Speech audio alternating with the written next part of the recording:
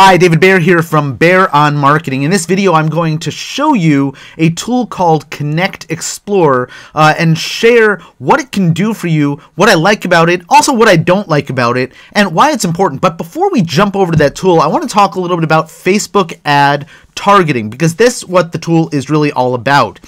When you create ads on Facebook, you want to be as targeted as possible uh, in directing your message to the right people.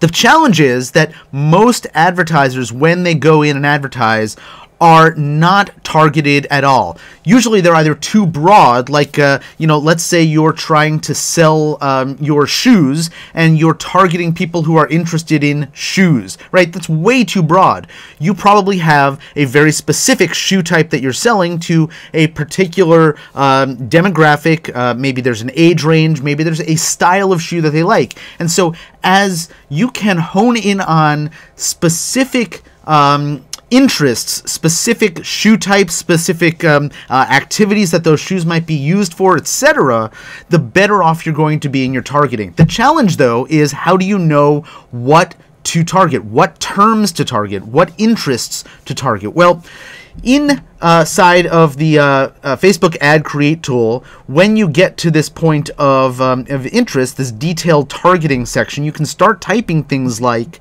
you know, shoes and it will start to auto suggest uh, some options for you.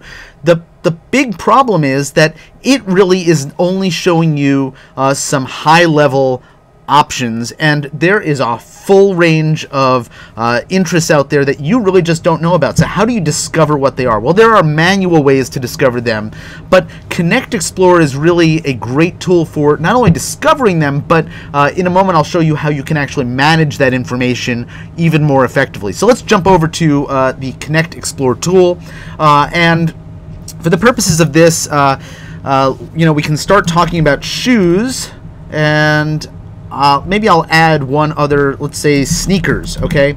Oops, let's type that in correctly. So sneakers, right? And I'm going to go ahead and do a search and suddenly it's going to come up with came up with 448 results now i can go through these and go oh yeah yeah absolutely you know um, this one and this one uh, that one doesn't make any sense this one that one right and i can utilize um, these particular interests in my campaign. So that's one option.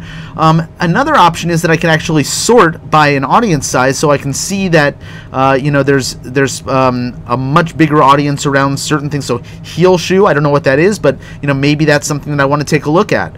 Um, Converse Shoe Company, uh, high heeled footwear. Okay, so there's different options here, and that's going to give me an idea of if I have a good size audience. Now, there are also um, ways here to uh, adjust the audience size accordingly. Uh, you can also target specifically by uh, interest, demographic, um, uh, job titles if you want. Uh, there's there's way more that I could I could add here. Um, you can do some word filtering. So if there's some words there, like um, maybe you don't want uh, anything having to do with sneakers or company, right? Maybe we want to get rid of companies. So let's exclude the word company, and we can apply a filter, and that will change it. This is going to be really helpful as we're trying to build a much more targeted audience, uh, and it'll give us a lot of ideas about things that we never would have thought of uh, had we not run a search like this. All right, now let me show you also this page search.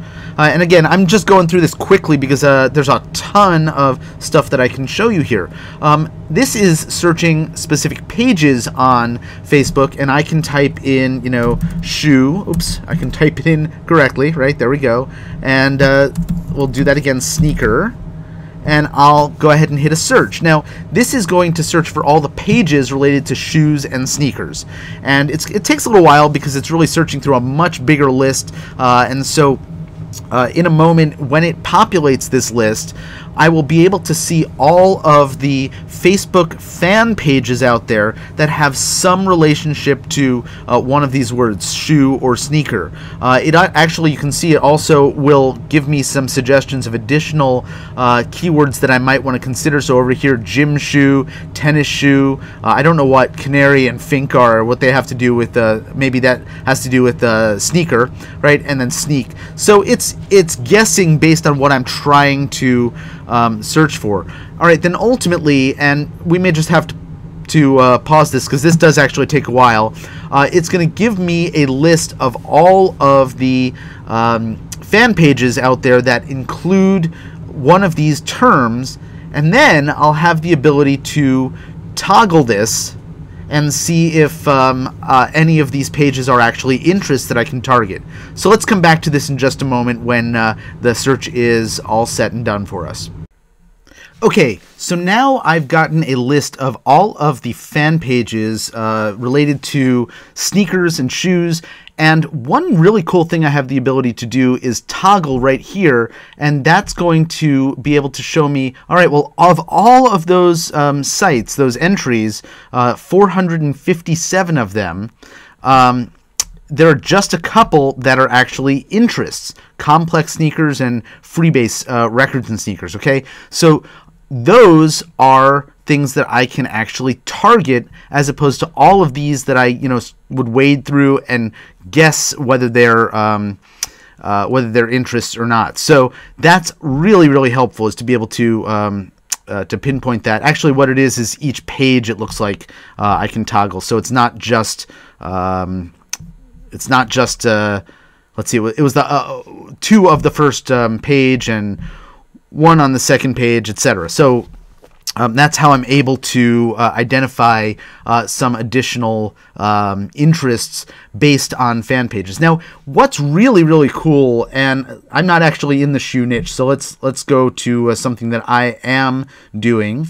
Um, I have the ability, and this is something that is unique to Connect Explorer. Uh, don't have the ability really to do this in any other um, platform that I have come across, even inside Facebook, uh, is to see which particular interests are winning against um, uh, the others when it comes to uh, an ad. So if you are building out an ad and you want to split test one interest against another interest against another interest, what you have to do is actually build separate um, ad groups.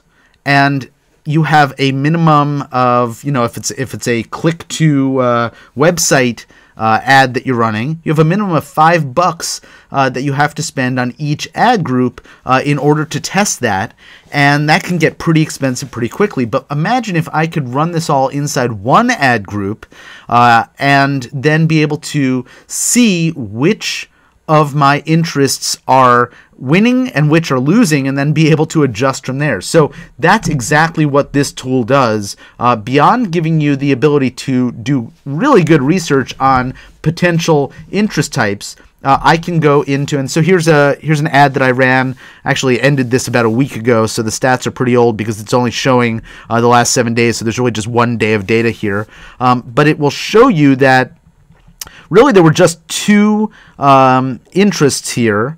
Uh, this one, John Maxwell Company, and this one, ICF International, that got any clicks. And that tells me that a whole bunch of these other ones were really just a waste of my time. Actually, looks John Maxwell team as well. So there's there's three of them, right?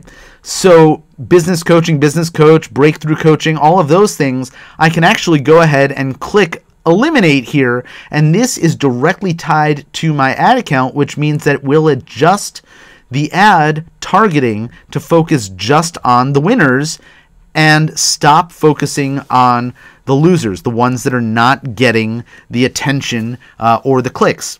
This is incredibly helpful information when I am trying to uh, scale up and fine tune an ad to be able to adjust according to which interests actually matter when it comes to uh, the ads that I'm running. So this is pretty amazing stuff.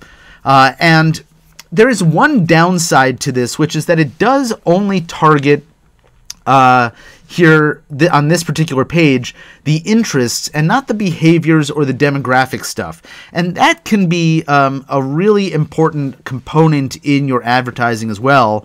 Uh, but when you're dealing with interests, uh, this is a super, super time saver and money saver Uh, the the only caveat that I, I really um, uh, have to say is if you're targeting around behaviors, uh, around job titles, things like that. Uh, currently, Connect Explorer really doesn't have the ability to um, to give you insight and analytical data into that stuff.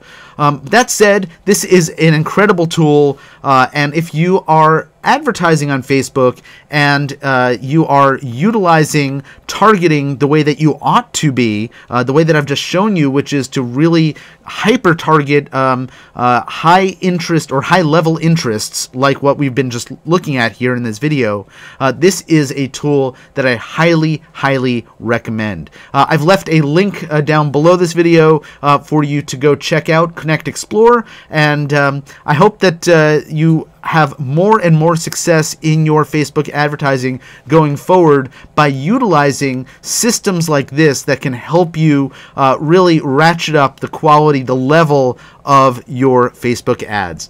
This is David Baer uh, from Baer on Marketing talking about Connect Explorer. Uh, thanks so much for watching and have a great day.